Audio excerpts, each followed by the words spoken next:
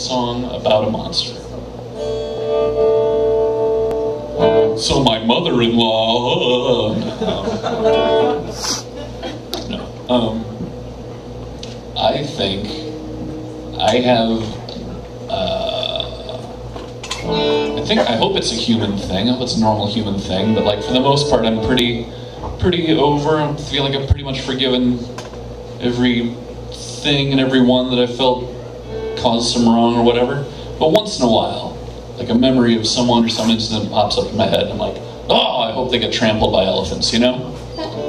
And um, I wonder where all those, I wonder where all those like bad feelings and, and juju go. And I uh, just wrote a little song about it.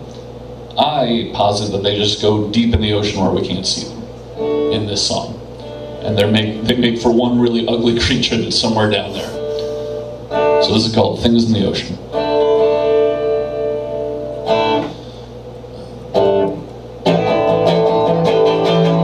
It was a look at first, a turn to a glance. Both took a chance. What we want? You ran your hand through your hair, tried to fix my stare. You held my hand under the table at the restaurant. There are things in the ocean that make you scream if they crawled on land, started evolving.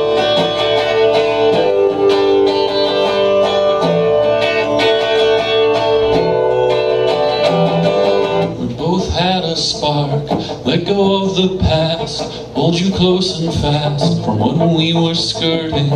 It's not complex science. Or unintelligible math. Just that our paths. Finished merging. There are things in the ocean That will make you scream. If they crawled on land And started evolving. There are things in the ocean That will make you scream if they crawled on land, started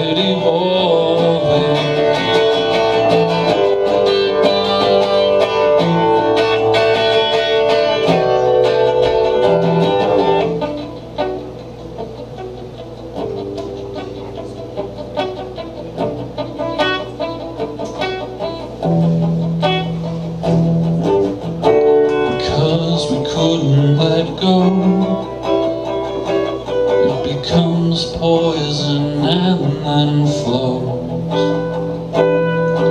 out of us and makes its way to the sea.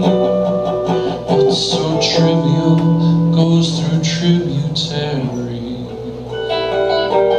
until there are things in the ocean that will make you scream if they crawled on land and started evolving.